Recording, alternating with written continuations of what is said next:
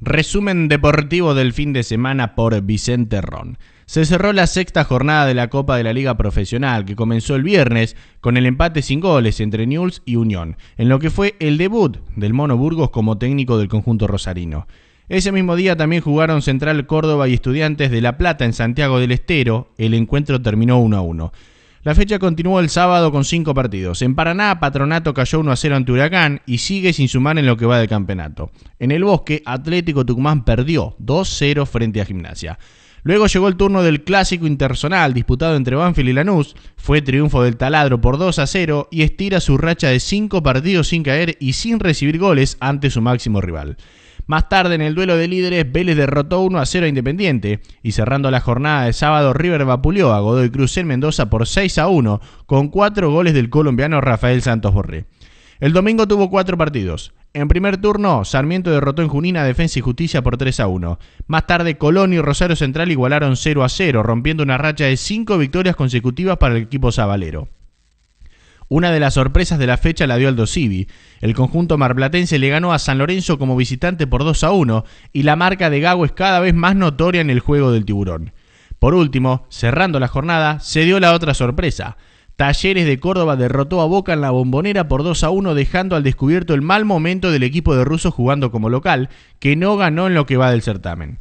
La fecha terminó el día lunes con el empate sin goles entre Arsenal y Platense y el posterior triunfo de Racing 1 a 0 sobre Argentinos Juniors.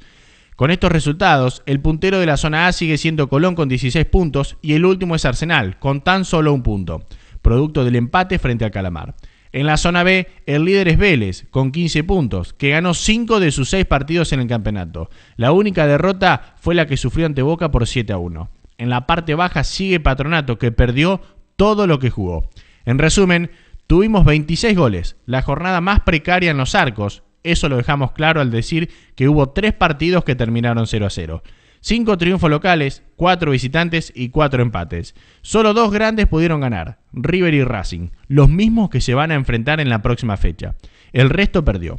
Los goleadores del torneo son tres, todos con cinco conquistas. Federico Andrada de Aldosivi, el Pulga Rodríguez de Colón y el colombiano Rafael Santos Borré de River, que convirtió cuatro en su último partido.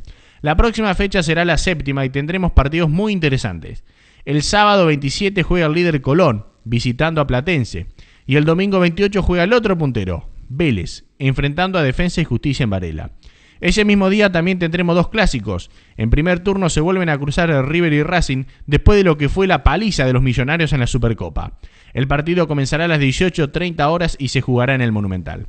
El otro clásico se jugará a continuación, entre Independiente y Boca, dos animadores del torneo. La hora de inicio será a las 21 en la cancha del Rojo. El Ceneice tendrá un compromiso previo porque enfrenta a Defensores de Belgrano por los 16 avos de la Copa Argentina en el Estadio Único de La Plata el día miércoles. El fútbol europeo también aportó su cuota en este resumen. Comenzando por el fútbol español, te contamos que Barcelona goleó 6 a 1 a la Real Sociedad como visitante y Messi no solo marcó dos goles, sino que también se convirtió en el jugador con más presencias en el club. Por otra parte, el conjunto de Simeone ganó 1 a 0 con lo justo y mantiene la ventaja de 4 puntos sobre el conjunto culé en la lucha por el campeonato. En el fútbol italiano tuvimos algunas sorpresas.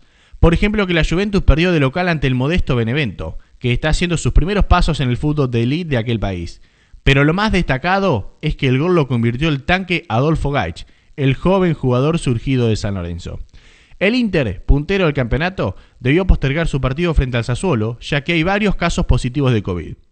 Nos mudamos al fútbol francés, para contarte que el PSG, con un gol de Ángel Di María, derrotó al Lyon por 4 a 2 y se subió a la punta del certamen junto al Lille, que perdió su partido frente al Nims por 2 a 1.